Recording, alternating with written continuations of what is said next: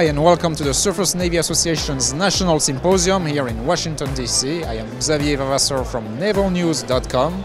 This is our first event of the year and actually our first event ever as we just launched last week. If you enjoy our coverage, please subscribe to our YouTube channel and visit our website navalnews.com.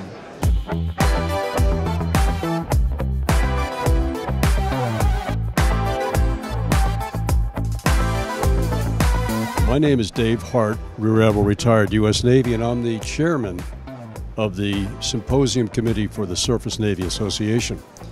As some of you may know, we've conducted an annual symposium, now in our 30th year here in Washington, D.C. We've had wonderful growth and great attendance. This year, our theme is Ready, Agile, and Focused, specifically on owning the fight, which sounds a little bit like a catchword. But the real implication behind that is getting down to basics, preparation for, and accountability by our commanding officers afloat. The admirals so far this morning who have spoken on active duty have made this a very clear message to the audience, and it will be the theme throughout the course of the next three days.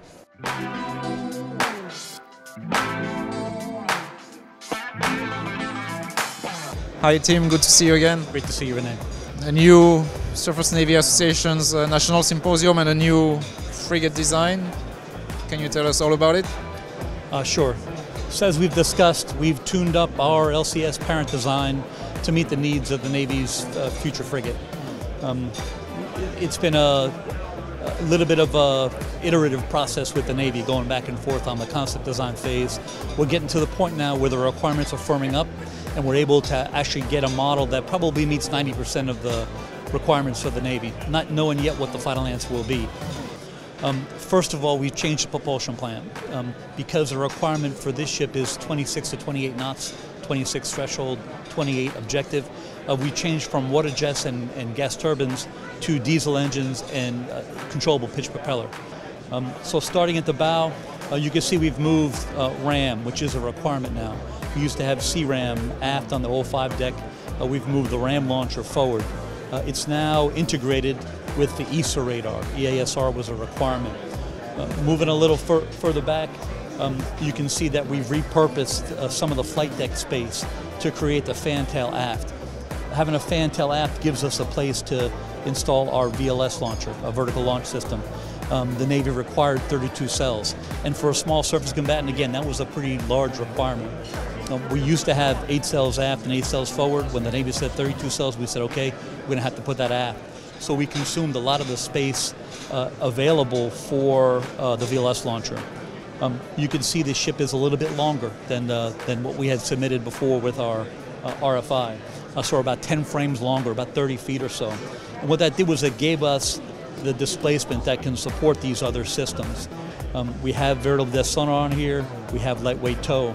Uh, you could also see aft we've got eight um, OTH missiles. They're the new um, Navy uh, strike missiles. Um, what you don't see uh, behind two screens are rib boats. We used to have the uh, rib boat on the port side, port quarter. Now we have two rib boats, uh, one on the uh, starboard side, one on the port side, for redundancy. So the captain of the ship can get a lead on either side if he needs to. Um, most of the other things are um, relatively easy to do. We've left some topside uh, arrangeable area for other antennas the Navy may want to put in there. We do have, as you pointed out, some space available aft if the Navy had other systems they want to put on. One particular place I'll point out is the 05 level aft, where we have concentrated space weight power for future systems. There was a, uh, a mandate that we have kind of a special project, uh, maybe a laser weapon, but someplace aft, and that's where we would put that weapon. It's already uh, foundated and has uh, the space available for it.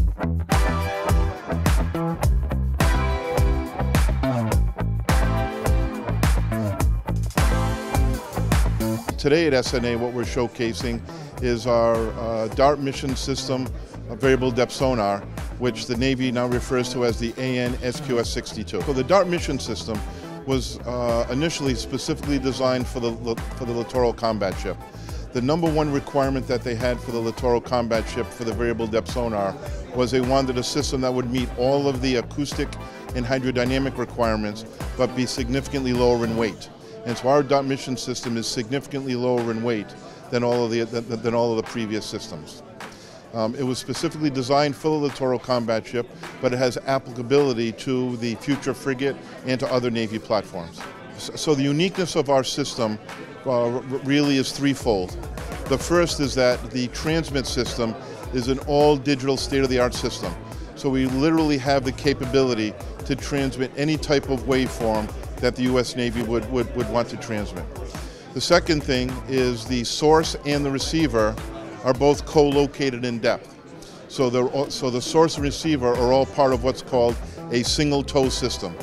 So unlike conventional systems that have one tow for the receiver and one tow for the transmitter, here the source and receiver are on the same tow cable. And then the third feature is um, this system was specifically designed to be able to be towed at greater depths and greater speeds than all of its predecessors. Um, the AN SQS 62 um, the 30th of November 2018 was, uh, was delivered to the U.S. Navy. Um, the, it uh, met all of its requirements and it is now installed on a white ship uh, doing some end-to-end -end testing in the uh, AUTEC test range. So what's next for the program is we're going through uh, testing right now at AUTEC until the end of January, beginning of February timeframe. Um, after that, the, the system will come off the ship will go through a, a quick refurbishment and, and it will uh, be turned over to the Littoral Combat Ship Squadron. And in May of this year, they will start the installation of the system on board the LCS-3, which is USS Fort Worth. They'll go through an installation period from May till about June or July, and then they'll start developmental testing and operational testing later this summer. So in May, the Navy selected Naval Strike Missile as the Over-the-Horizon Weapon System program. Uh, we're very excited about this. Um, it's an opportunity to create jobs in the U.S.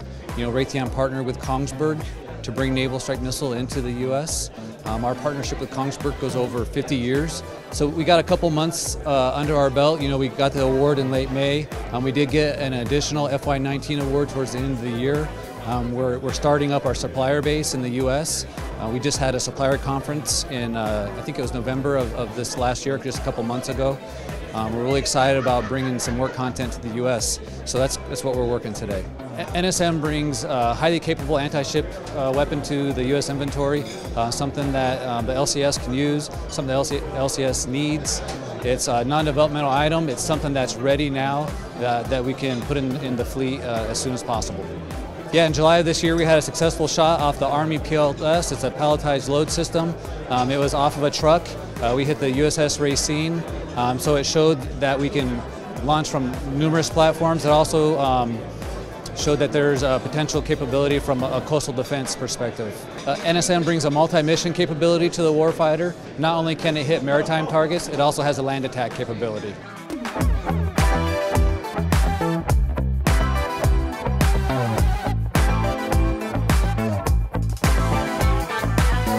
Uh, we just declared uh, early operational capability on the B-1B Lancer. Uh, we delivered 10 missiles to the United States Air Force. Uh, next month we will uh, start operational testing on F-18EF and uh, the Navy will expect to declare early operational capability sometime in the early summer. Other announcements is that we are in Lot 1 production right now, delivering missiles to the Air Force and the Navy. Uh, we also just concluded uh, a Lot 2 award for 53 missiles. Uh, and we also have another exciting project going with the United States Marine Corps called Nemesis, Navy Marine Expeditionary Ship Interdiction System, uh, to integrate LRASM on one of the Marine Corps' uh, mobile vehicles. So we've just delivered uh, phase one of our OTA to the Marine Corps, which included some engineering studies and also uh, some rough order magnitude cost estimates. Phase two will commence uh, likely in March, uh, and then we'll develop a couple of prototypes, and then we'll test them uh, in spring of 2020.